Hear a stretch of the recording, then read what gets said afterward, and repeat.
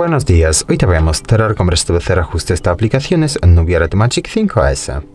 Para eso abrimos la aplicación Ajustes y aquí buscamos la pestaña Información de las aplicaciones y luego pulsamos aquí arriba a la derecha para ver más opciones y elegimos de aquí la segunda opción recuperar ajustes de aplicaciones. Pulsamos aquí a la derecha, confirmamos y ya los ajustes y están restablecidos. Muchas gracias por ver el vídeo, te invito a comentar abajo y suscribirte al canal. Hasta luego.